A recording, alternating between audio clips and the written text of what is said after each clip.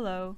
Welcome to a special recorded version of The Legend of the Legendary League, a presentation that was created in collaboration between Crawfordsville District Public Library and the League of Women Voters of Montgomery County. Uh, this presentation was originally conceived of in 2019 as we prepared for the centennial celebration of the ratification of the 19th Amendment.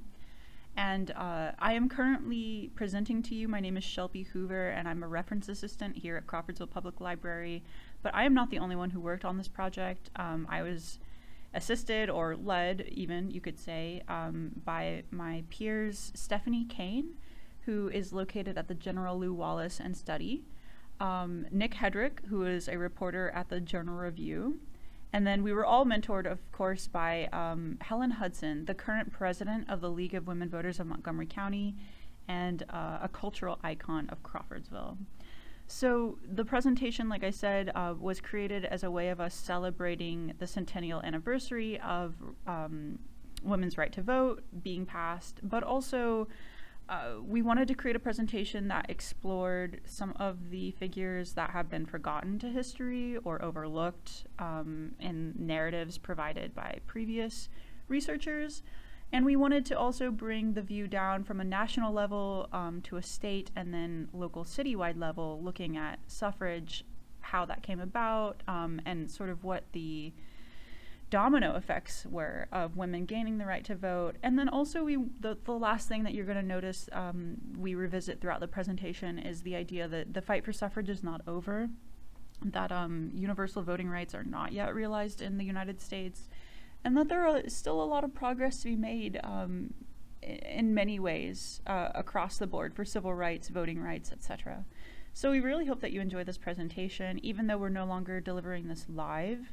Um, you're always welcome to reach out to our library staff with questions or comments, interests, um, things that you would like to see us revisit or go into more detail or depth about. We would love to hear from you.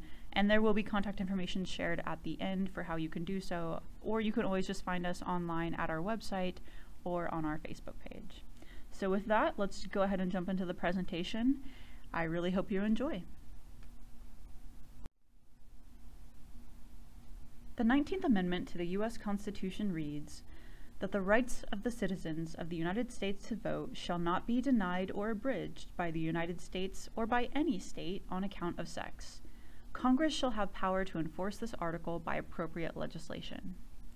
A century ago, those were just words on paper, and the reality of acknowledging that women had the right to vote in every state for any candidate that they wanted to meant convincing the majority of the United States Senate and House of Representatives at the time, made up nearly entirely of men, to update the Constitution to share their power. And so, surprisingly, um, one of the first things tonight that maybe a lot of people don't realize is that there was a woman in Congress at the time of the ratification of the 19th Amendment, and her name was Jeannette Rankin. Um, and she was an enthusiastic supporter of women's rights to vote. You see her here on the screen. Um, we actually have access to this really lovely series of photographs of her standing here in front of the Capitol. It must have been um, around her inauguration time. Um, but she's just such an interesting figure. Of course, she's got the quote up here that she wants to be remembered as the only woman who ever voted to give women the right to vote, and she is. Um, so, just such a cool way to kick things off. She was in Congress and she did vote to give women the right to vote. Um, it really cannot be overstated how much the suffragists uh, at this time were driven to make the 19th Amendment and those words on paper that we just referenced a reality. If their proposal made it through the trials of Congress, uh, the focus for ratification would then turn towards convincing states themselves. And in 1919, there were only 48 states, Three fourths of the state legislatures at that time had to say yes for the Constitution to be updated. So that meant that the magic number needed for ratification for this amendment was 36 states. And women had already won the power to vote in 30 states more or less by this time. So, with six states to go, the field was set for a final tumultuous push towards ratification but our suffragists that we're going to be introduced to throughout this presentation knew that it was not going to be an easy final leg of the journey. This past August marked a century since women's suffrage became law of the land, And while we often think of it as just another date in history, um, maybe some of our modern audiences is not even aware of that date or what it signifies or how long we've had the right to vote as women in this country. Um, but to the people who were in the middle of this fight uh, a century ago, and to people who continue to struggle to keep this importance alive in the minds of our society, um, this was the culmination of 72 years of hard and unrelenting work on the part of suffragists, and frankly, the 72 years is an underestimation. Um, women had been fighting clearly for decades, if not centuries, um, to get to the point where they were able to get the right to vote. So, really, quite a lot of work had gone into what we're about to talk about. So, our modern audience might be asking the question why were those decades of struggle necessary? Especially when we consider and think about the fact that our founding fathers um, petitioned a tyrant, King George, for political representation as they created our country, and they railed against being held to laws that they had no say in creating. And so, with that in mind, why didn't they build universal suffrage into our Constitution as they drafted, um, you know, an entirely new form of government for their nation? Well, many of our founders believed that challenging the status quo by considering extending voting rights to women or to other groups like men who did not own property, that that would lead to the masses demanding the vote. Essentially, that that would open up voting to everyone, which they wanted to avoid. Um, and this was despite the fact that it was not unheard of in some New England colonies like New York, Massachusetts, and New Hampshire for women to have voting rights prior to the American Revolution. All of those colonies wrote women out of power as they drafted their new state constitutions. In a letter to James Sullivan, John Adams wrote, quote, There will be no end of it. New claims will arise, women will demand a vote, and every man who has not a farthing will demand an equal voice with any other in all acts of state. Adams concluded that it will confound and destroy all distinctions and prostrate all ranks to one common level. A popular mentality at the time that complemented Adams, Adams's view was that women didn't need official political representation and rather that their power and influence resided in raising morally sound sons who would then shape morally sound policies. The framers of the Constitution ultimately deflected this matter by leaving the decision for individual states to make. And remarkably, any individual of age worth at least 50 pounds, including women, had full voting rights in New Jersey until 1807 when the rights were taken away from them. So before we move on, I just think it's really valuable as well to compare these two quotes between um, Abigail and John Adams, one of our original American power couples.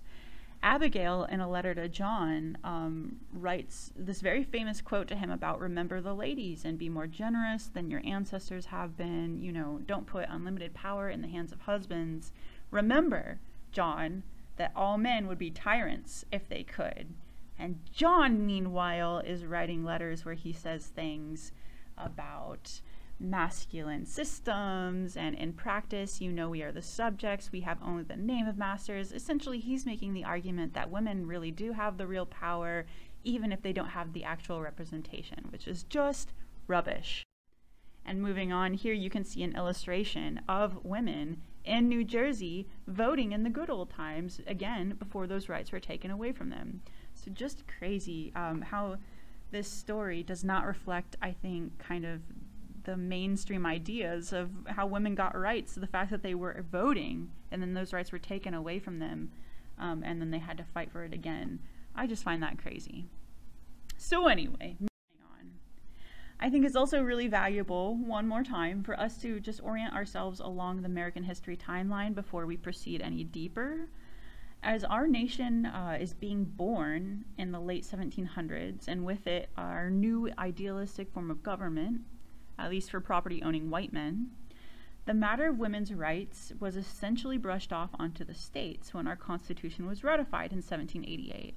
And as we just heard, some states granted women rights um, in certain limited ways, and some did not.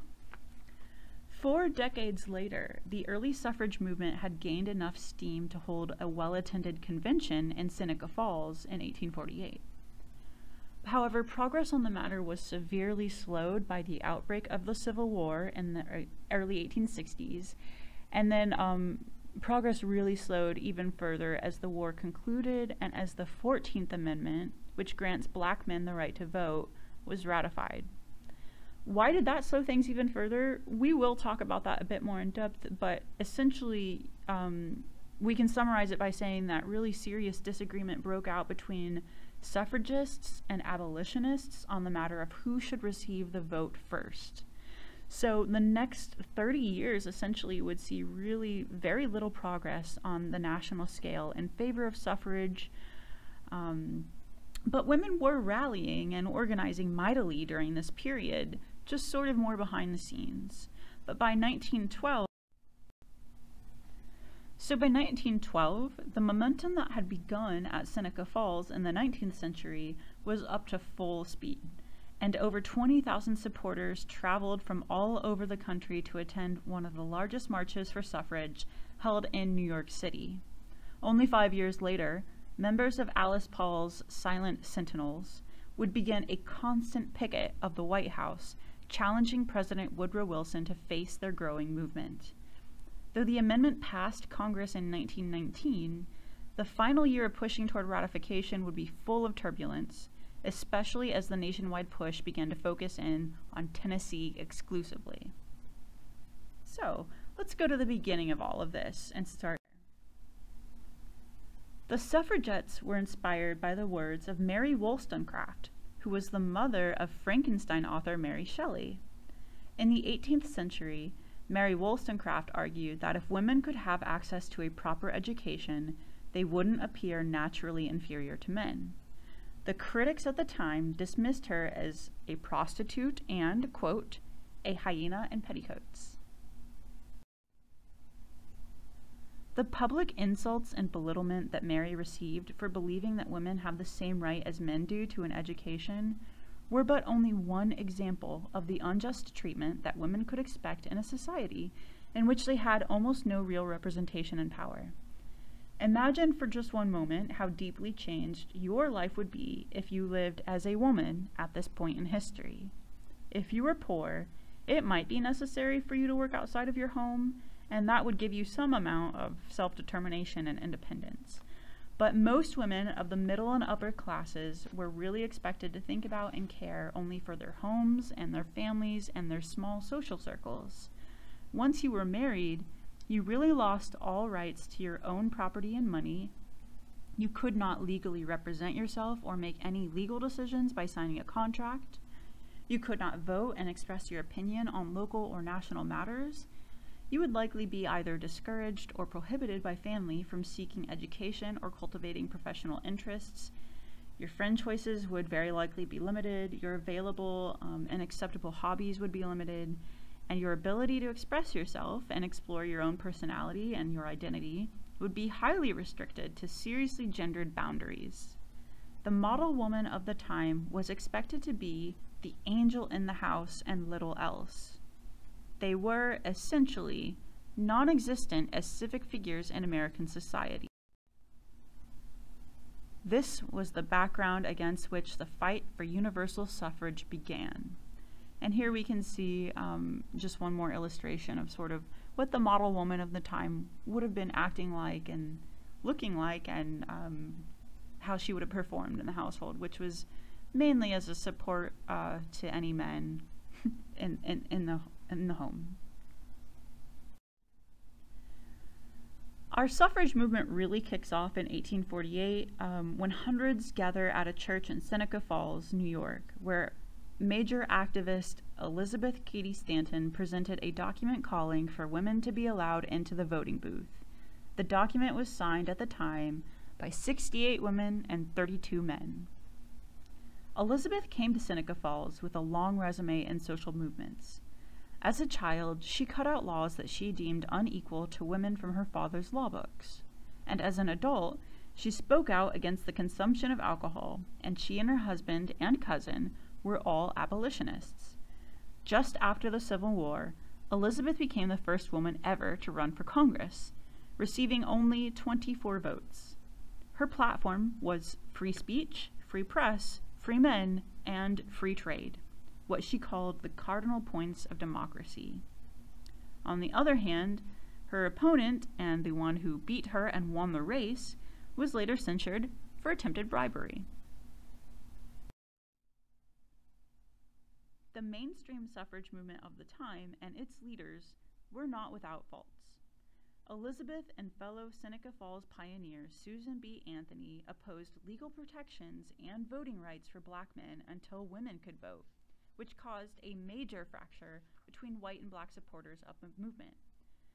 Additionally, um, it was sadly very not uncommon for black suffragists and other suffragists of color to be forced to march separately from whites in parades, to be excluded from joining in entirely, or to experience racist interactions with white suffragists at gatherings and events. The conflict that arose between the two movements over the 15th Amendment and the question of who would be enfranchised first was not initially present in the relationships between the abolitionists and the suffragists. In fact, the movements actually worked side by side in antebellum America. However, even prior to the breaking of good relations between the movements, black women often struggled to have their voices heard or taken seriously, as most suffragist organizations were led by white women, and most abolitionist groups were controlled by black men. Later, we're going to hear a little bit more about a famous speech given by a black woman, which pointedly reminded her audience at the time that she too was a woman and deserved women's rights as well. Frederick Douglass famously attended the first women's convention at Seneca Falls and was well acquainted with Cady Stanton and Anthony. In 1866, during the 11th Women's Rights Convention, they would co found the American Equal Rights Association, which would advocate for universal suffrage for American citizens regardless of sex or race, and which petitioned Congress on the matter. At the same convention where the American Equal Rights Association was founded, Frances E. W. Harper, a figure that we'll be observing more closely in a moment, addressed a crowd which included Cady Stanton and Anthony with a blistering critique of white women about the exclusions clearly felt by women of color. That speech is titled We Are All Bound Up Together and in it, Harper ends the speech with her remark that if there is any class of people who need to be lifted out of their airy nothings and selfishness, it is the white women of America. The AERA would disband in 1869, only three years after its founding. One major contributing factor toward the disagreements that would envelop the group was the collaboration between Anthony, Cady Stanton, and George Francis Train, an open and well known racist of the time who offered them assistance as they campaigned. As the 15th Amendment loomed with potential ratification on the horizon, Frederick Douglass and others like suffragist Lucy Stone heavily pushed for the AERA and the movement in general to seize hold of the proximity of enfranchisement for one group and support the amendment. They argued that black men having the power of the ballot would make the journey towards suffrage for women pass all the more quickly. Anthony and Cady Stanton, along with their followers, couldn't have disagreed more sharply, arguing that their efforts should turn toward pushing for women and non whites to receive the vote at the same time. This rift would effectively halt progress on the issue of women's suffrage until the turn of the century, while black men in the South would enjoy their new power to vote only briefly before the systems of white supremacy began to work to keep them from doing so. Black suffragists like Adella Hunt Logan received a hostile reception from their white colleagues. Adella was a teacher educated in Atlanta who went on to teach at Tuskegee University in Alabama, where she became friends with founder Booker T. Washington. Hunt Logan passionately supported women's voting rights in order to influence education policies, and she was an early activist who wrote to raise awareness about the discrimination that African Americans experienced from police and the courts in the South. And remember, this was in the late 1800s that she was writing about these topics. Having mixed racial ancestry, Hunt Logan was able to attend whites only NAWSA conventions in the South by passing herself off as white. Sadly, however, um, the emotional toll of those experiences and her overall experience with the suffrage movement were contributing factors in her eventual deep depression and suicide only four years before the passing of the 19th Amendment. Journalist Ida B. Wells Barnett is likely very familiar to our audience, and she also locked horns with movement leaders over her opposition to racial segregation. Born into slavery, Ida reported extensively on the premeditated lynchings of African Americans across the South after the Civil War. Excluded from the mainstream suffragist movement because of her race, Wells would go on to found the National Association of Colored Women's Club alongside other suffragists such as Mary Church Terrell, Rosa Parks, and Harriet Tubman, and she was present at the founding of the NAACP. One of the few black women welcomed at meetings with white suffragists early on was another teacher, Mary Church Terrell.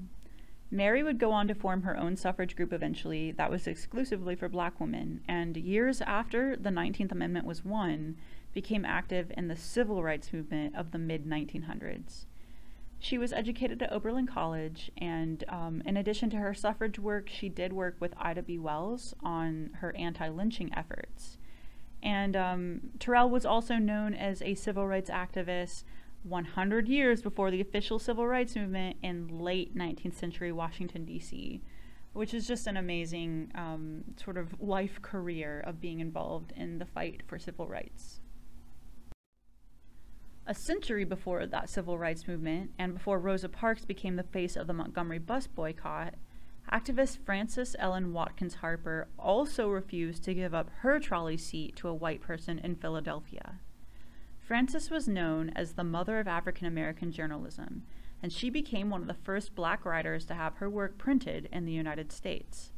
By the time of her death in 1911, she had written over 15 novels and poetry collections, many of them um, with reflections on themes of suffrage and civil rights. Harper went on to multiple public speaking tours uh, where she spoke always in favor of abolition, abolition, temperance, and suffrage. And this is so cool. She reportedly sent funds that she raised from her speaking engagements to support the efforts of the Underground Railroad. A very early pioneer in the field of women's rights, Sojourner Truth was born into slavery in northern New York State in 1797. Born with the name Isabella Baumfree, she would go on to have five children while enslaved before escaping to freedom.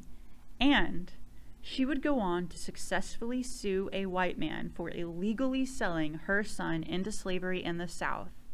And she won and was reunited with her child.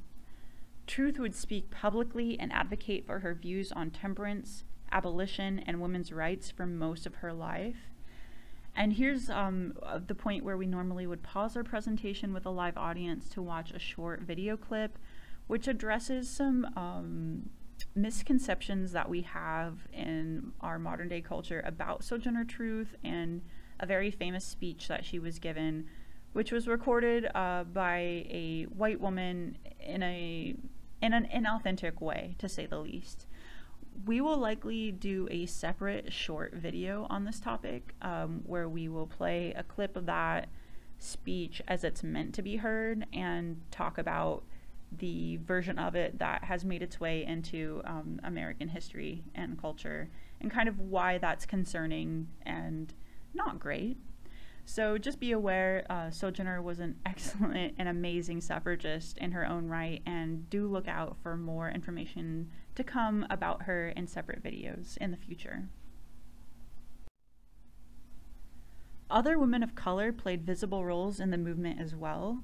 For example, Dr. Mabel Pinghua Lee, who immigrated to the US from Hong Kong as a young girl, became well known as a suffragist in New York City. At the age of just 16, as she was preparing to begin at Barnard College, she led a 1912 suffrage parade in New York on horseback and was featured in an article in the New York Tribune about the march. However, sadly, Lee knew that her activism would not directly benefit her, as she wouldn't be allowed to vote until the Chinese Exclusion Act was repealed, which it finally was, During World War II, Chinese immigrants were not the only ones who experienced this unjust treatment. The 19th Amendment did not fully enfranchise black, Asian American, Hispanic American, and Native American women. And many would continue to face barriers erected by white voters that were designed to discourage or fully bar non whites from voting. Those tactics ranged from nearly impossible literacy tests to poll taxes to intimidation tactics, etc. Native Americans had a champion at the time in Susette La Flesche Tibbles, who became known as Bright Eyes. She is remembered as the first woman to speak out for Native American rights and delivered lectures around the world and spoke to government committees about extending rights to indigenous peoples of all kinds. Suffragists also raised their voices outside the mainland United States. In the Hawaii Territory, Wilhelmina Kekelau Nui Widemann Dowsett successfully fought to allow residents to vote for women's suffrage. Lawmakers had been prohibited from granting voting rights to women before the 19th Amendment was ratified in this territory. Puerto Rico was a U.S. territory by this time, and the suffrage movement found voices and leaders there as well. Milagros de Newton corresponded and learned from suffrage leaders leading the movement in the U.S., and she led the push for women's voting rights in the territory. Puerto Rican women were not included when the 19th Amer Amendment was ratified. Newton became president of the Suffragist League in 1920 and continued to push for full suffrage, which would be partially realized in 1929 for literate women, and then fully realized in 1932 when near universal suffrage was granted I say near because Puerto Ricans still cannot vote in presidential elections in the United States. Back in the lower 48, suffrage leader Mary Garrett Hay became one of the first women in the eastern United States to join a political party, and she encouraged Republicans to support women's voting rights. Another super interesting figure is Dr. Mary Edwards Walker, who was one of the first women to become a physician in our country, and she graduated from Syracuse Medical College in 1855. Walker went on to serve as a field surgeon in the Civil War, and at one point was captured by Confederate troops, where she spent four months in prisons and was questioned as a potential spy. Walker spent her early life wearing a hybrid outfit uh, that was sort of between bloomers and a dress, but she eventually switched to wearing entirely male attire during her war service just because of the convenience of it. She experienced very serious abuse throughout her life because of her preference to dress this way, and she was arrested frequently and questioned as a potential homosexual because of that. At the end of her war service, she was presented with a Medal of Honor, and get this, she is the only woman in American history to ever be awarded the honor. And she reportedly wore that medal every day until her death. Sadly, her medal was revoked from her in 1917, two years before her death, just because Congress was removing medals from those who didn't um, experience actual enemy combat. But thankfully, it was restored to her in 1977 under the Carter administration. And side note, even though it was revoked from her, remember what I said where she wore it every day until her death? She did not return it. She was not going to give that thing back, which I just love. Fighting for women's suffrage was just part of the legacy of Jane Addams, who founded Hull House in Chicago. There, educated women shared knowledge with low income families in their neighborhoods.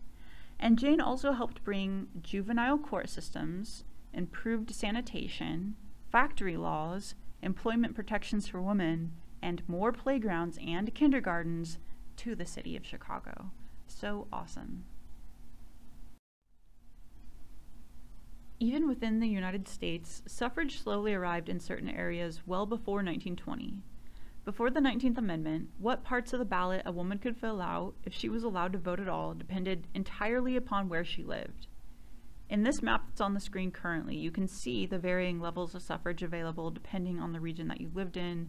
So, certain states like New Mexico, Louisiana, New Jersey, women could vote in some special elections like for school board, tax questions, etc.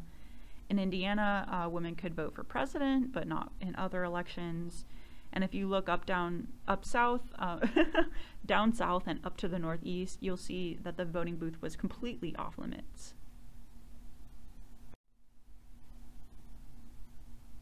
Here we can just see um, a couple of members of the Indiana Women's Franchise League in 1919, again, because some some amount of suffrage was available to women, and so women were organizing um, and grouping and advocating around what they could advocate for. This map from 1915 presents a more absolute view of the progress of suffrage, or you could even just say that this was um, a great propagandist view of the fight. Out west, the states in white represent full suffrage, but the women of the eastern United States are desperately reaching out for Lady Liberty and the vote that she brings them. Some of the loudest opponents to enfranchising women were actually women themselves. Anti suffs, as they were known, believed that allowing women to vote would hasten the nation's moral collapse, going against God's plan for the world. They thought it would threaten the purity of women and blunt the chivalry of men, and these societal expectations formed the foundation of arguments that would be used by anti suffragists as they challenged the movement. So many anti suffs argued that women not only belonged in the sphere of home, but again, echoing an argument that we heard earlier, that women preferred to be there because that was the seat of their true power and influence. Others claimed that suffrage was a home destroyer and that it would lead to an increase in divorce, and with mothers missing from homes and their domestic positions, an increase in crime due to deteriorating values at home. In, uh, in the photo that we see right here on the screen currently, I just wanted to point out a few things to go along with this conversation. Um, because well, anti-suffs were against suffrage, but they were also against many other political ideologies and movements at the time. And that was very well known, even if we as a modern audience can't quite pick up on some of the symbols and ideas represented in this picture. I'm going to point out to you some things that are happening that audiences at the time that this picture was taken would have certainly understood and um, realized the meaning and significance of. So in the middle of the picture, we can see Josephine Pearson, um, and we're going to talk about her a little bit more in a moment. She was really the main leader of the anti-suffrage movement, but she is standing right next to a veteran, um, a Confederate veteran.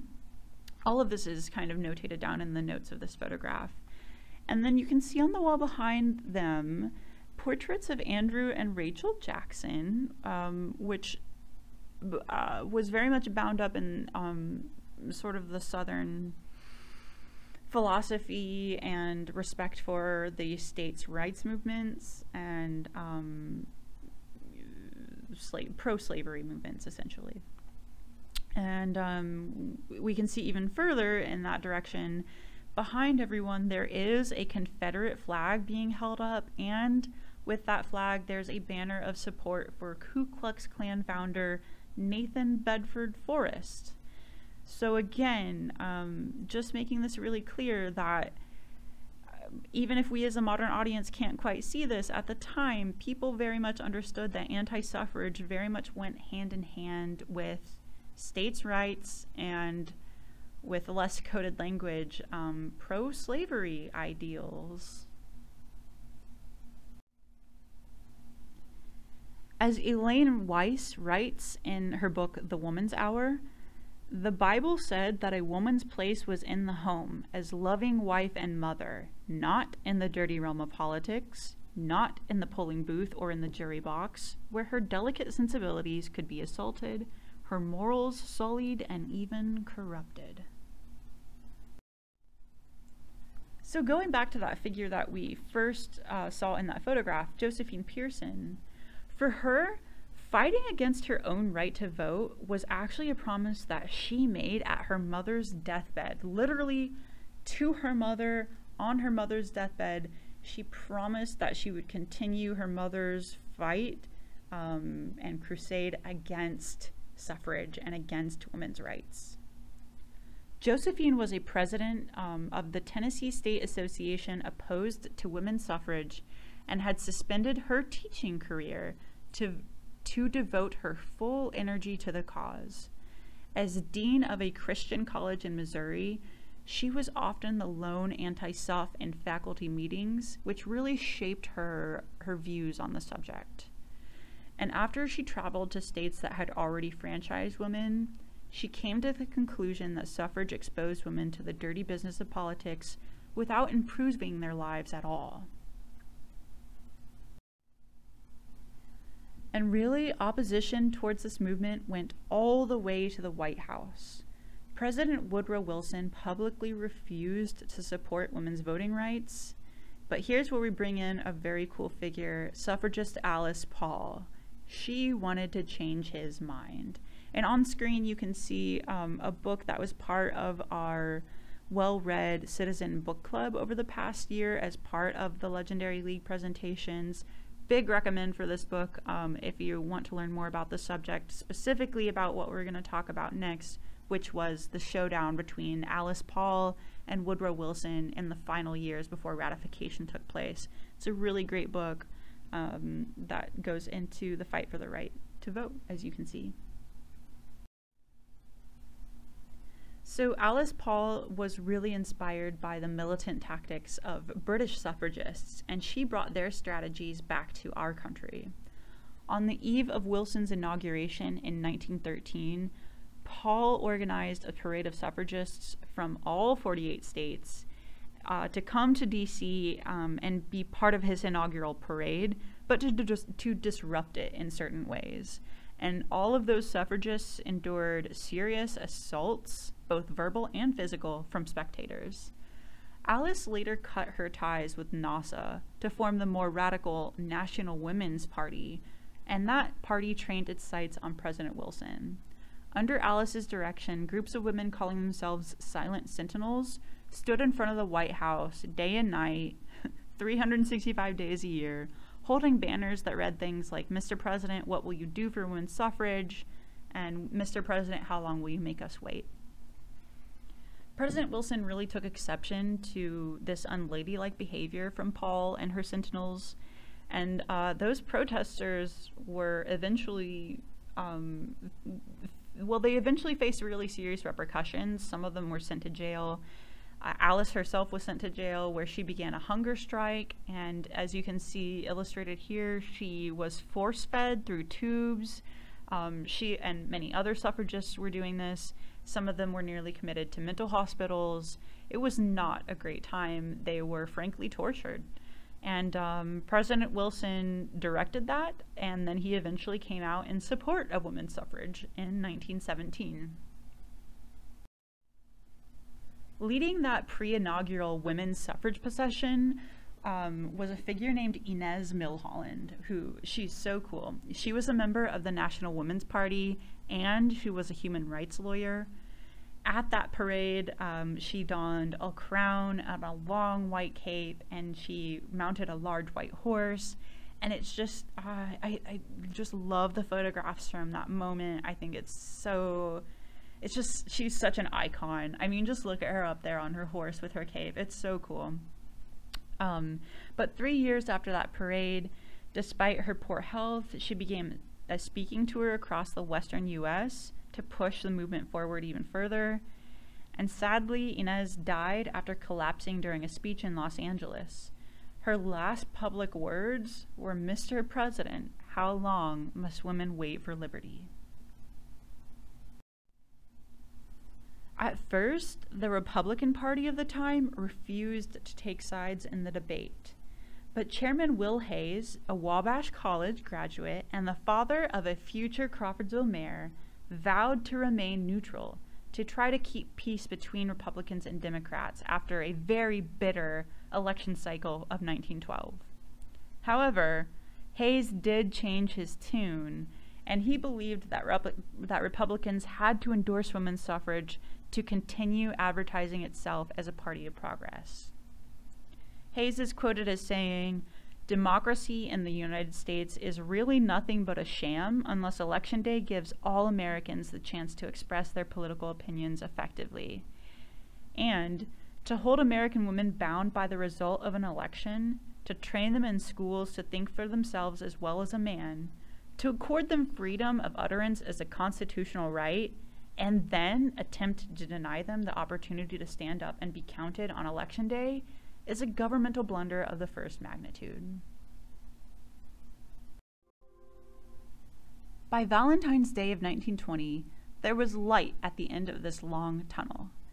Arizona had just ratified the 19th Amendment, bringing women across the nation closer to the voting booth with only five states still needed.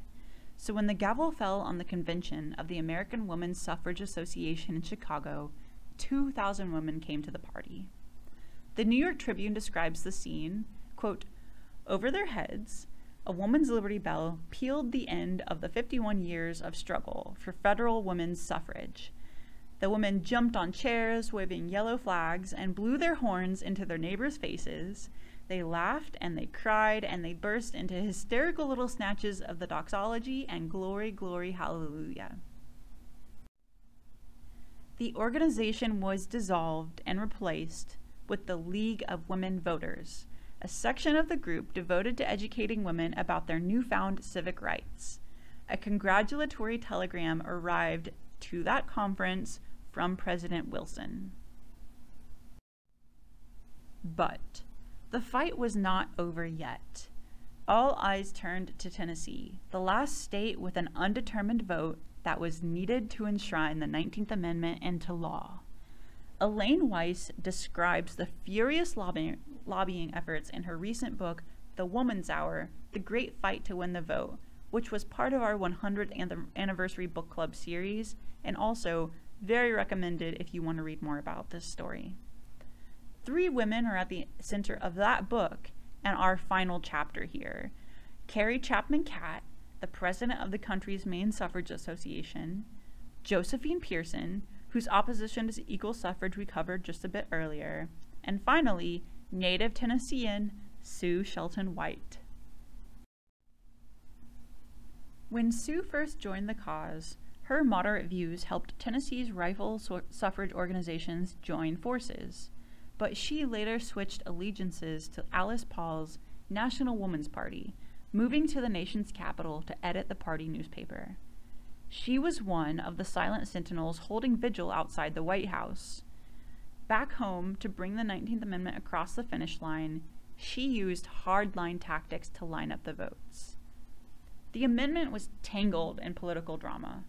Tennessee's governor had competition in his upcoming primary election, and he refused to call lawmakers back for a vote on ratification until after the election, and only, Elaine Weiss suspects, if he won. When the special session was finally set, the amendment sailed through the Tennessee Senate, but it was not going to be that easy in the House of Representatives, and activists from both sides of the debate scrambled to get lawmakers to um, de- to decry whether they would vote yes or no. When it appeared the amendment might fail, Sue threatened to reveal the names of the flip flopping lawmakers who were going back and forth. But in the end, it all came down to 24 year old Representative Harry Burn, who cast the tie breaking vote ratifying the amendment. So let's hear a little bit about his story. Harry originally supported the amendment, but he briefly changed his vote and sided with anti suffs when party bigwigs and misleading telegrams from constituents led him to believe that his district was opposed to equal suffrage. The deciding factor that would come down to change his vote was a letter from his widowed mother, Febb Ensminger Burn, which he carried on him during the vote. The letter read in part, and this is one of my favorite things in this entire presentation quote, Hurrah, and vote for suffrage, and don't keep them in doubt. And his mother also added, Don't forget to be a good boy and help Mrs. Catt. Harry himself would later leave written record of his thoughts from that time, and he wrote, quote, I want to state that I changed my vote in favor of ratification, first because I do believe in full suffrage as a right, and I knew that a mother's advice is always safest for a boy to follow, and my mother wanted me to vote for ratification. I just love that. It's so lovely. Women here in Indiana had many people to thank for their right to vote once this all finally came to pass, and Helen Gougar was one of the figures who kept up the fight for decades. Helen was an attorney from Lafayette who defended herself at the Indiana Supreme Court when she was denied a ballot in 1894.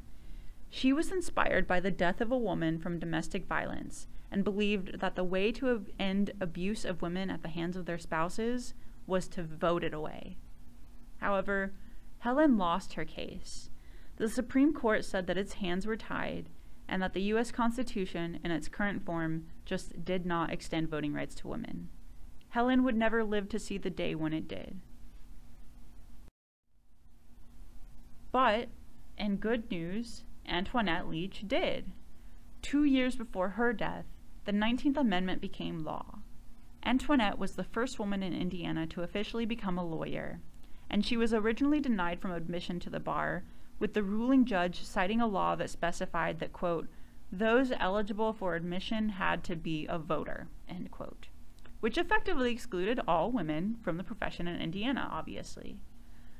The decision was appealed in the Indiana Supreme Court, and many were surprised by the progressive reversal of the decision, in which the presiding judge, Justice Hackney, wrote, quote, if nature has endowed woman with wisdom, if our colleges have given her education, if her energy and her diligence have led her to a knowledge of the law, and if her ambition directs her to adopt the profession, shall it be said that forgotten fictions must bar the door against her? Leach would go on to start the first real suffrage club in Sullivan County, and she later tried unsuccessfully to add equal voting rights to the state's constitution. A suffrage leader described her as the most capable advocate of the equal suffrage movement since Susan B. Anthony. Another really interesting local figure, May Wright Sewell, led suffrage associations and other women's organizations while teaching in Indianapolis. She and her husband founded the Girls Classical School, which is a college preparatory school. In the suffrage movement, she pioneered the council idea, of bringing together women from diverse backgrounds to advocate for larger, more universal interests. Polly Strong was not a suffragist, but she played a key role in Indiana women's history. Strong was born enslaved in the Northwest Territory and was purchased by an innkeeper from Vincennes. Slavery and involuntary servitude was illegal in Indiana, so in 1820, Polly sued for her freedom. A court in Knox County ruled against her. But the case was appealed to the state Supreme Court, which declared that slavery can have no existence in Indiana, even though it did not automatically free all of the remaining slaves. Before Zitkala-Sa began speaking up for the rights of Native Americans, she was educated in Indiana as well. Zitkala-Sa's parents sent her to a Quaker school in Wabash and against her family's wishes, she enrolled at Earlham College in Richmond to continue her education. Zitkala-Sa founded an organization that advocated for citizenship, better education, and health care for Native Americans while recognizing and preserving their culture. Some of the state's best known suffragists have ties to our own community, which became known as the headquarters for women's suffrage movement in Hoosierdom. Crawfordsville native Elizabeth Boynton chaired a women's suffrage convention here in 1869. And interestingly, remarks were delivered at that convention by General Lew Wallace. However, he was considered to be very condescending to the audience that day, and historian Rebecca Nickdole wrote um, in Hidden History of Montgomery County, Indiana, that a woman asked to speak after Wallace to which he replied that he supposed a woman must always have the last word. And on top of that, instead of addressing voting rights, he spoke instead about Indiana's divorce law that day. Elizabeth was also an outspoken advocate for women's education. She and two other friends, including the journalist and suffragist Mary Hannah Krout, convinced Wabash College to allow them admission to physics lectures. Just hours before dying of a stroke, the campus president reportedly promised Elizabeth that she would earn a diploma, a promise that went unfulfilled. In 1868, Elizabeth was among 23 women to apply for admission to the college, but all were turned away. Lew Wallace's stepmother, Zerelda, joined the cause after becoming well known in the temperance movement. Testifying before the Synod, she said society couldn't be reformed unless women were allowed to vote. And she told the men, quote, We do not intend to depreciate your efforts, but you have attempted to do an impossible thing, to represent the whole by one half. And because we are the other half, we ask you to recognize our rights as citizens of this republic. Dr. Mary Holloway Wilhite helped start Montgomery County Suffrage Association in the 1860s and later organized an Indiana Equal Suffrage Association's convention here in Crawfordsville. She hosted Susan B. Anthony and Elizabeth Cady Stanton at her home, which stood across from the former Burkhart Funeral Home parking lot on West Wabash Avenue. The League plans to dedicate a historical marker at the site sometime in the future. It was originally meant to be done this year, but has been disrupted due to COVID.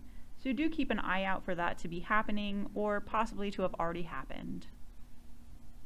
Dr. Wilhite was Crawfordsville's first female physician and one of the first women in Indiana to earn a medical degree, and her practice focused on women and children. So by the late 1940s, another group of women in the community began laying the groundwork for a local League of Women Voters.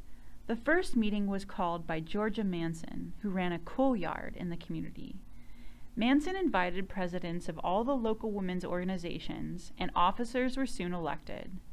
The vice president, Annie Leavenworth, was at the time one of only two women who taught at Wabash College. The first order of business was to start an observer corps. Members attended government meetings to monitor the creation of local ordinances and to ensure that the city's business was being conducted in view of the public. This remains a major part of the League's activities. Members observe the meetings of at least 20 government agencies, including school boards, library boards, and the Housing Authority, which the League helped establish in Montgomery County. The League scored an early victory here by successfully pushing for more representation on the Crawfordsville School Board as well. The board grew to five members from three, and a woman was soon elected. Today, three women serve as school board trustees, including the League's own Susan Albrecht, Kathy Brown, and Ellen Ball. Over the years, the local league has completed a study leading to the creation of the Youth Service Bureau, reformed the city's dump and trash hauling system, helped the county reorganize the school systems in the early 1960s, recommended the creation of a city parks and recreation board, and helped successfully lobby the state to ratify the Equal Rights Amendment, which we all know, of course, fell three states short of being written into the U.S. Constitution. As longtime League member Wilma Shorts said in the 1980s, we've gone from, quote, getting grade A milk in Crawfordsville to helping Crawfordsville redistrict. So now that we've seen the story of suffrage and the birth of the League of Women Voters, both on a national scale and a local scale, it's important for us to wrap everything up by once again revisiting the fact that the 19th Amendment did not grant voting rights to all women and all people. Um, after the ratification of the 19th Amendment, there were still major milestones that we had to get to in order to get uh, certain groups into the voting booth. And so, 1924, we see the Indian Citizenship Act, which granted voting rights to Native Americans. Not until the 50s were all Asian immigrants allowed to um, claim citizenship and thus voting rights. We saw Chinese immigrants in the 40s finally receive those rights. Um, but yeah, it wasn't until the 50s that Asians in general as a group were brought into the suffrage movement entirely. And then, of course, um, the, the major civil rights movement of the 50s and 60s culminates in the Voting Rights Act, which makes it at least mm, officially wrong to continue things like poll taxes and intimidation. Um, and finally, the Equal Rights Amendment, which we see in the 70s, get denied. Um, certainly something important for us to keep on our minds, especially because the ERA has been resurfacing in recent years as Congress kind of maybe looks to revisit that. And in case you aren't sure what the ERA is, I really recommend you Google it. Um, it essentially is just language going into the Constitution that enshrines and guarantees uh, equal rights regardless of gender and sex, which amazingly is not in our Constitution currently. So, yeah, um, major things to be aware of here and other things mentioned throughout the presentation that could have gone on here are including things like Puerto Ricans not being able to vote in national elections, etc. Ratification was not the end, the timeline continues, unfortunately. But even with that in mind, knowing that our timeline of uh, lack of voting rights continues even to today, we do see progress continuing. Um, and this map that's up here on the screen, unfortunately, is just slightly out of date. It doesn't quite capture uh, what I wanted it to, which was up through the election of ni- not 1918, of 2018, when we saw the quote unquote blue wave occur that brought many more women into Congress than ever before. Um, so yeah, we'll I'll leave this up here on the screen for a moment so that you can kind of reflect on women in Congress and what that looks like, and just be aware that of course there have been major movements forward. Uh, just even this year, I'm speaking post November 2020 election, we saw even more women take seats in Congress this year. So, like I said, the timeline continues. The story is never done. And so, with that, we're nearly finished with our presentation. And as we wrap things up, you might be sitting there wondering, why does all of this matter? Why did I just sit through an hour long presentation learning about women's voting rights? Wasn't the movement a success? Wasn't everything achieved that we wanted to have achieved? Can't we just applaud suffragists and move on? And this is just history class and blah, blah, blah, right? Like, it's over. Well, not really. I mean, as you've heard me say over and over again, the timeline continues, the struggle continues. Not all of our rights are realized, and not everyone has access to the rights that some of us get to enjoy. The struggle to attain the vote for women was not simple, it was not quick, it was not pleasant. And it was only because of the hard work of suffragists struggling and suffering that we are able to look back at this issue and ask what we think is a simple question. Well, why did it take so long? This clarity and this consensus that we as a modern audience are likely kind of all feeling about this subject, that's a major milestone in the struggle for women's rights and in the life of our democracy. Um, and now that we're celebrating the 100th anniversary, and we're past the 100th anniversary at this point, obviously, and now that we're experiencing greater levels of women's equality than ever before, it is tempting to just think, oh, the hard work is finished. The mission is accomplished. We can be done. And this just is not the case. Suffragist work is not finished in America until every single citizen can vote with convenience and without fear of intimidation. With the work still not being done, you may be wondering, well, what can I do? Many of us probably aren't well versed in constitutional law, so we can't travel long distances to volunteer for voting rights causes, and we can't argue points in court, and we may not feel like we're smart enough or wise enough to really have a place in this discussion and the work being done. And it can so easily feel like there's nothing you can do at all.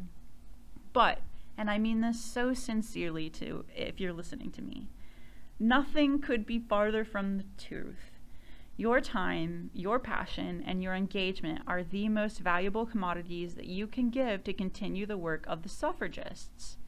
One of the very first things that you can consider doing is joining the League of Women Voters of Montgomery County. And you do not have to be a woman, and you do not have to be a current and active voter to join this organization It doesn't matter what your political alignment or lack of alignment is. It doesn't matter what previous experience you have in being civically engaged and thinking about matters of government and politics. You don't really need to know about how any of that stuff works. When you become a member of the League of Women Voters, you become part of an important story in Montgomery County, one in which regular citizens help inform others and encourage voting engagement for the betterment of our community and we will walk you through what that means. Don't worry, it is very simple. It is easy to get involved. What better way is there to show your love for your country and your fellow countrymen, even if you disagree with them, than to devote your time to ensuring that our constitutional rights are understood and utilized by all members of your community? So, if that pitch got you fired up and ready to go, I also really urge you to consider learning more about and joining Montgomery County's Women in Network, known by the acronym WIN. Um, it is a local bipartisan organization that's working to support and encourage women in our community to participate in elected and appointed public service. WIN regularly hosts workshops and meetings um, and groups that can guide and mentor women through the process of becoming politically active leaders. Um, and even if you're just looking to make new friends and network a little bit, it's such a wonderful group. You can contact them. Um, oh, yes, their, their email address is up there on the screen. So you can contact them at womenwin6 at gmail.com. That's the word women and then the word win, W I N, and the number six at gmail.com. Or you can visit their Facebook page their Facebook page is just Women in Network. Again, that's up there on the screen for you in case you need to see that. Um, so you've got those options, but perhaps volunteering for one of those groups just isn't quite right for you right now, which is that's okay, no worries. There is one more thing you can do. It's a very powerful action that you can take, and you can take it in nearly every election. You can vote, and I do mean every election.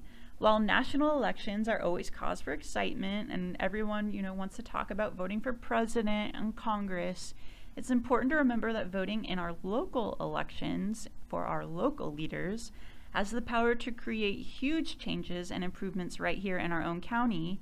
And those are changes that we can observe and benefit from every single day. So, in fact, your vote may be most powerful when applied toward local elections. I really hope that you'll challenge yourself here and now as I finish, that you'll stay informed to, about the next election and our local candidates and issues, that you'll attend local candidate forums or listen to them on the radio when they come up, that you'll talk to your family members and possibly, if you have them, your children or your friends who may not be as politically active about why voting is important and why women spent nearly a century of active, difficult campaigning for their right to vote.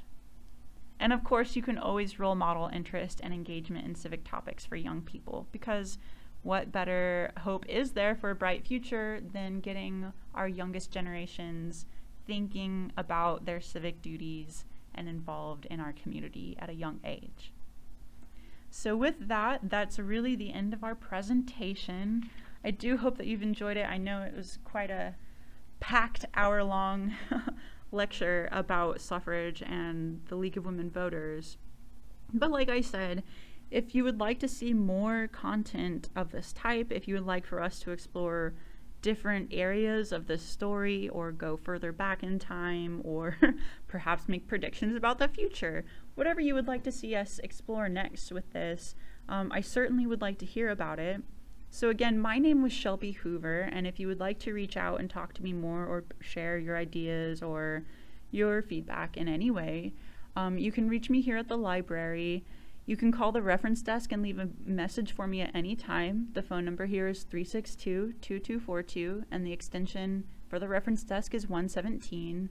And you can also always shoot us an email. Probably the easiest email address for you to reach out to is ask so just the word ask, A-S-K, at cdpl.lib.in.us. And I will be sure to have that email address and the phone number listed with this video, whether you're watching it on YouTube, our website, or on Facebook. With that, Thank you so much for watching this presentation. I do hope that you learned a little bit of new information or maybe find yourself reinvigorated as you think about politics, um, government, and the future of our country. So thanks again. I hope you have a wonderful day, and we will see you in the future for more programs here at the library. Bye.